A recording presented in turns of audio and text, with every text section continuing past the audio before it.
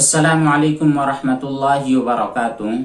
ہماری خاتون نے سوال یہ کیا ہے کہ ان کے گھر میں طہارت اور پاکی کے لحاظ سے بہت زیادہ خیال نہیں کیا جاتا۔ وہ کپڑوں کو دھو لیتے ہیں اور کپڑوں کو دھونے کے بعد ان کو نچوڑنے کا کوئی خاص اہتمام نہیں کیا جاتا۔ اسی طرح برتن دھونے کے لیے گھر کے باہر لے جاتے ہیں اور یوں ہی چھوڑ دیتے ہیں۔ بعض دفعہ ایسا ہوتا ہے کہ کوئی کتا آتا ہے، برتن میں منہ ڈال کر چلا جاتا ہے اور انہیں پتا ہی نہیں ہوتا ہے کہ کون سے برتن میں کتے نے منہ ڈالا ہے۔ اور اگر پتا ہوتا بھی ہے، تو اس برتن کو الگ سے دھونے کا کوئی خاص اہتمام اور کوئی معمول نہیں بنایا جاتا۔ بس یوں ہی عام طور پر جیسے گندے برتن ہوتے ہیں، میلے کچیلے برتن ہوتے ہیں، ویسے ہی دھو لیتے ہیں۔ تو اس کے بارے میں شریعت سے رہبری اور رہنمائی کیا ہے؟ دیکھیے، سب سے پہلی کوشش آپ یہ کریں کہ اپنے گھر والوں کو دینی تعلیم دیں۔ انہیں بتلائیں کہ نماز کا حکم کیا ہوتا ہے، طہارت کا حکم ہماری زندگی میں کتنی اہمیت رکھتا ہے۔ انہیں پاکی اور ناپاکی کے مسائل بتلائیں۔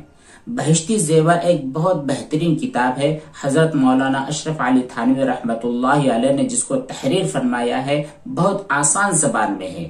آپ کوشش یہ کریں کہ بہشتی زیور کا مطالعہ اپنے گھر میں شروع کرواتے دن بھر میں کوئی ایک وقت متعین کر دے جہاں پر گھر کی تمام خواتین اور بچے آ کر بیٹھے اور آپ انہیں روزانہ سبقن سبقن تھوڑا تھوڑا پڑھ کر سنایا کرے۔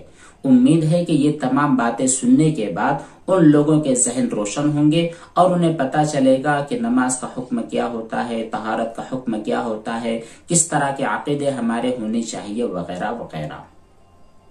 اب یہاں پر آپ نے جو کپڑے اور برتن دھونے والی بات کہی ہے تو کپڑے دھونے کے بارے میں ایک بات تو اچھی طرح ذہن نشین کر لے کہ اگر کپڑے ناپاک ہے تو ناپاک کپڑوں کو دھونا ضروری ہے۔ بنا دھوئے وہ پاک ہونے والے نہیں ہے اب ناپاکی کی دو صورتیں ہوتی ہے ایک تو ناپاکی وہ ہوتی ہے جو حکمی اعتبار سے ہوتی ہے، دوسری ناپاکی وہ ہوتی ہے جو حقیقی اعتبار سے ہوتی ہے۔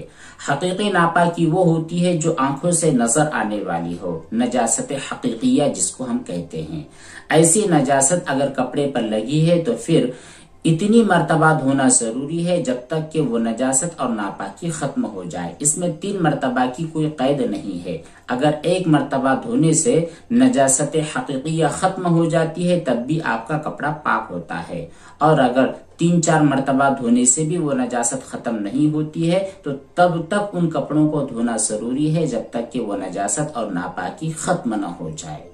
اور اگر نجاست حکمیہ لگی ہے، ایسی نجاست لگی ہے جو ہے لیکن آنکھوں سے نظر آنے والی نہیں ہے، تو پھر اس صورت میں ایسے کپڑے کو تین مرتبہ دھونا اور ہر مرتبہ نچوڑنا ضروری ہوتا ہے۔